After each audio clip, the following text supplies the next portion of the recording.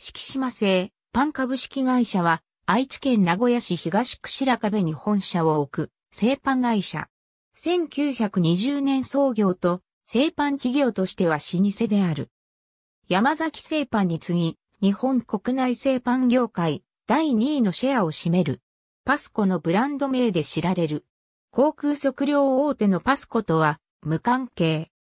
かつてはパスコブランドの使用は関東地方、東北地方の一部のみで、中部地方異性では、旧来の敷島ブランドを使用していたが、2003年にパスコへ統一し、これを第二の創業と位置づけている。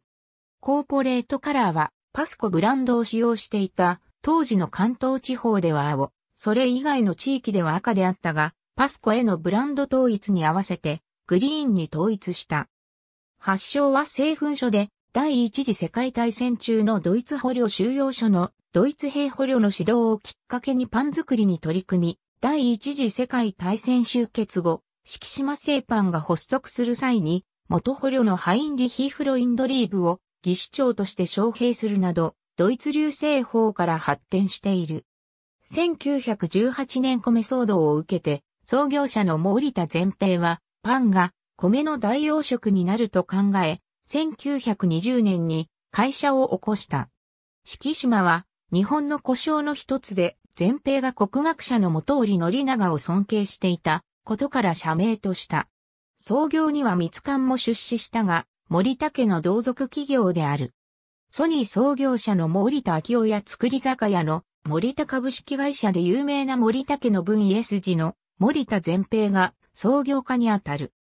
現在の代表取締役社長である森田厚夫は創業者森田前平の彦であり、また第90.9697.98代内閣総理大臣を務めた安倍晋三とは成形大学アーチェリー部の同窓である。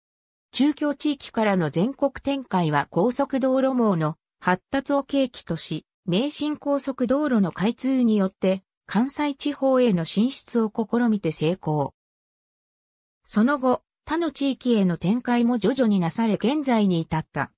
食パンで大きなシェアを持ち、1998年に関西地方限定で発売した長熟食パンがヒット商品となり、全国発売してからは食パンのトップブランドとなった。これは従来から効果が知られていたが、量産化が難しく使用されていなかった油脂製法を用いており、この量産化製法特許取得により、他社に先駆け製品化が可能となったに、奥本製粉が奥本式油種の特許を取得したことで、独占は崩れた。長熟の開発から販売までを綴った書籍、長熟ヒットの理由、食パンから学ぶブランドナンバーワン物語が発刊されている。売上構成はパン類76%、菓子類13%、その他11%となっている8月時点。菓子製品には名古屋メーカーとして知られる名古屋などがあり、中京地域以外でも販売されている。子会社のレアールパスコベーカリーズがフランスの有名高級ベーカリーカフェ、ポールブランドで日本国内20店舗1月時点、フォーションブランドでも国内24店舗を展開している1月時点。本社ビルはテクノコアという名称である。2006年、愛知県から愛知ブランド認定企業とされた。2008年、17年ぶりに価格改定を実施した。社名の四季島は、前平が尊敬していた元織の長の和歌、四季島の大和人を人とはバ朝日に匂う山岡から取られた。パスコは前日の通り、パン四季島カンパニーの頭文字を取ったものだが、これは東京進出に際して当時の社長が懇意にしていた女優、宮古町長から東京で物を売るには名前次第というアドバイスを受けて考案したものであった。また、理由の一つとして、江戸弁では、首都、日の発音が曖昧で、敷島が発音しにくいため、東京進出に際して洒落た横文字のパスコを考案したということも挙げられている。全国ネットのテレビ番組ではそれらの地域でも CM が放送されることがあるが、一部の地域では発売されておりません。商品はパスコの直販サイトでも買えますのお断りテロップが表示される。ただし、子会社のレアールパスコベーカリーズは、北海道、九州地方にも展開している。北海道も販売拠点がなく、販売がされていなかったが2013年に札幌市手稲区にパスコ夢パン工房手稲店をオープン。2018年には江別市にパスコ夢パン工房のっぽろ店とパスコ札幌セントラルキッチンをオープンした。併設されたパスコ札幌セントラルキッチンはパスコ夢パン工房各店舗への商品供給のほか、札幌近郊の一部スーパー、卸売業者等に商品を供給して、北海道でも販売を開始している。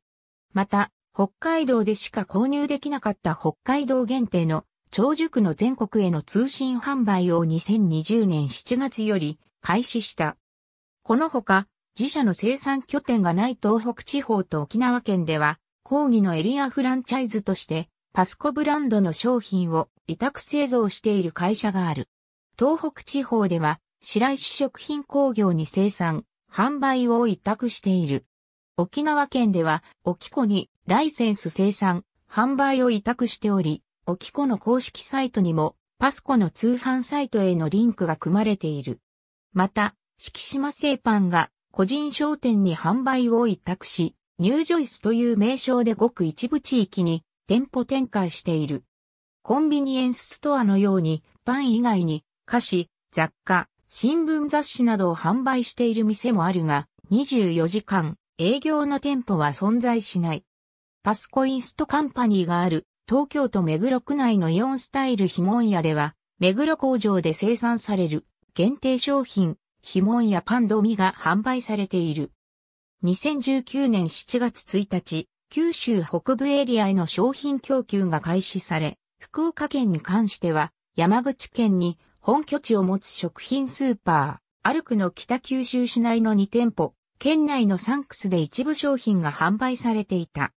なお供給開始に先立ち、同年5月30日に、福岡県粕谷郡に営業拠点となるパスコウエストカンパニー、西日本支社福岡営業所が開所されている。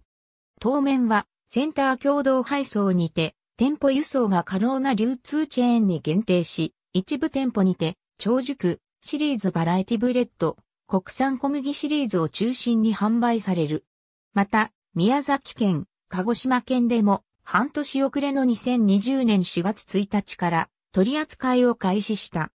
なお、九州地区では専用のテレビ CM が制作、放映され、製品には円形の緑色で、はじめましてパスコです。のシールが貼られている。出店、敷島製パン公式サイト、営業所、ネットワークこのほか、バンダイから発売される食玩としてのパンも手掛けている。一社提供複数社提供公式サイト株のコピーライト表記より、宮崎、鹿児島への進出時にはシールの貼り付けは行われなかった現在は交番、その後終了一部地域ではノンスポンサー。ありがとうございます。